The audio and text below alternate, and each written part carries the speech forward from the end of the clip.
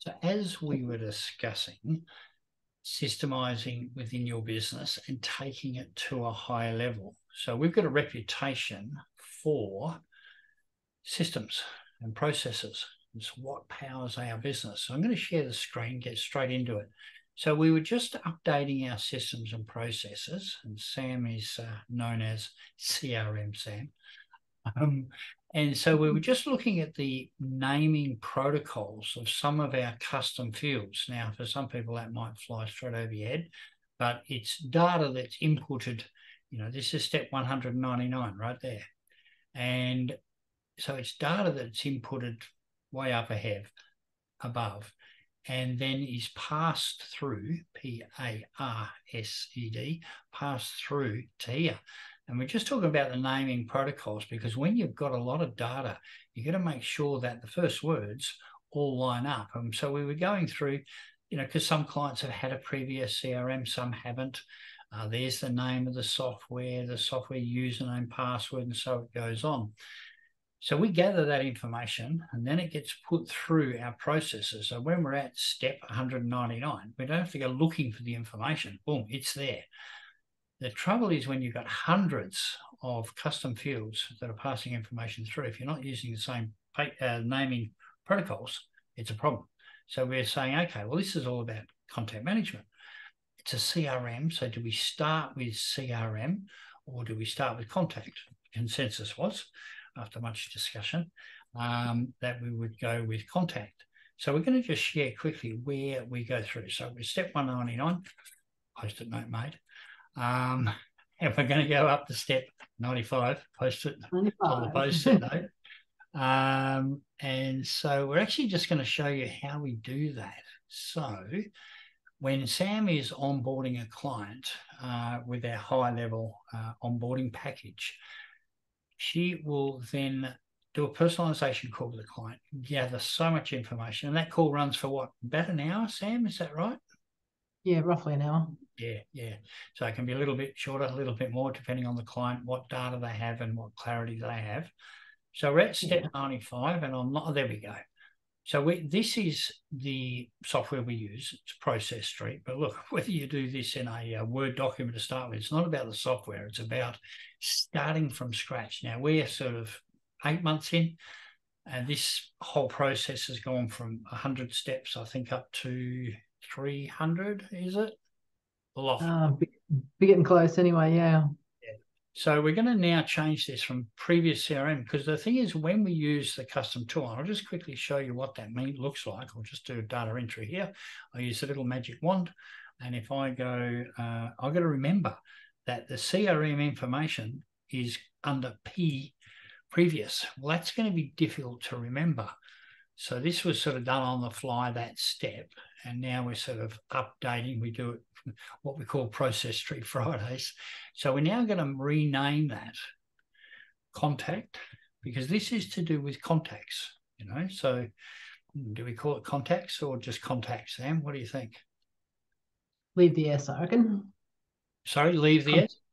Leave the S there, yep. Cool. Okay, so we can either do contact space, that space, or if you want to save characters, you can use a colon. So contacts, previous CRM. So, you know, this is the multi-choice, yes, no, only project management software.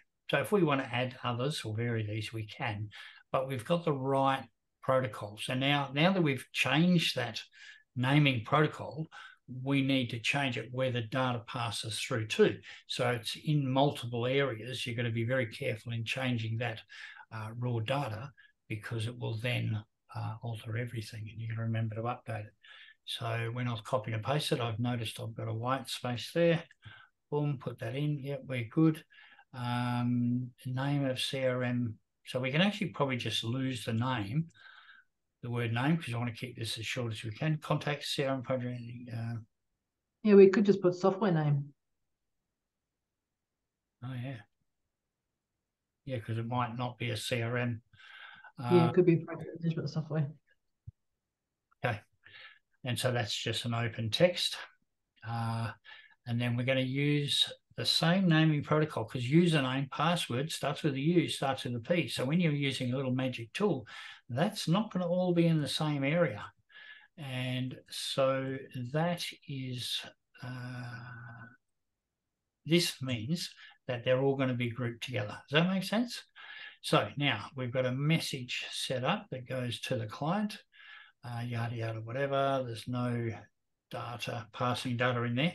So we're able to rip back down to step 199 now, Sam. You're confident with that? That data is that's the first place that data gets passed through, right?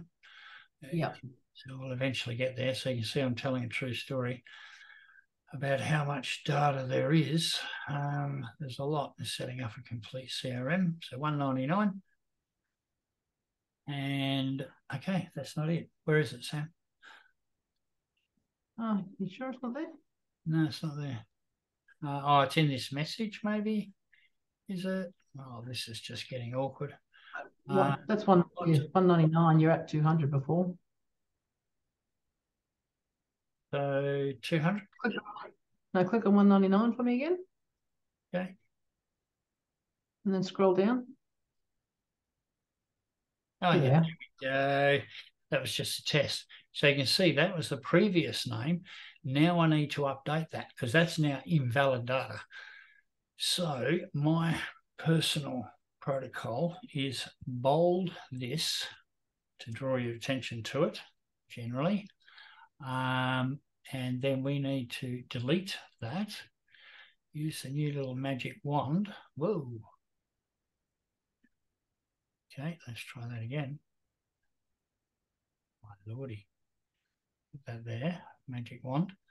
And because we've used contact as the precursor, you can see all of that data is now grouped together.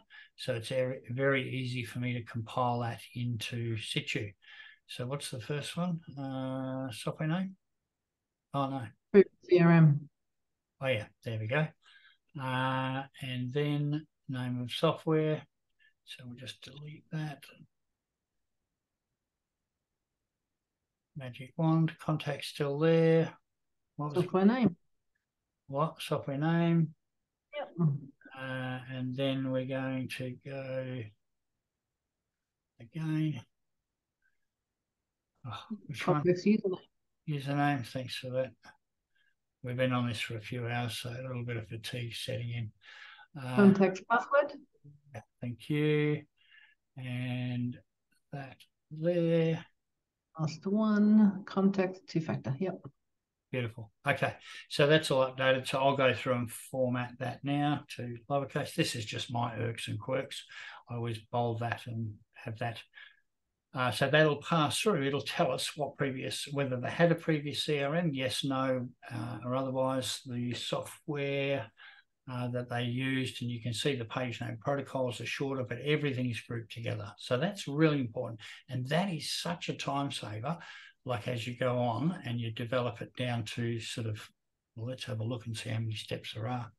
Um, this level of complexity.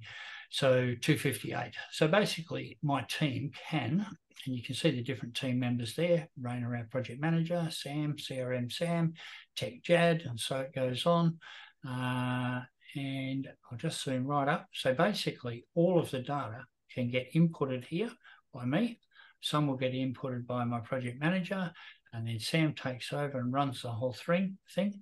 She will do the personalization call, which gathers all of the information from the client, uh, what sort of meetings they want, what software they have. Uh, there's a whole range of data that gets inputted into uh, this section here.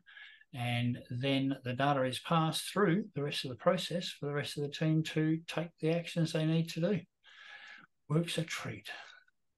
Thanks, Sam. We finally did it. Yay.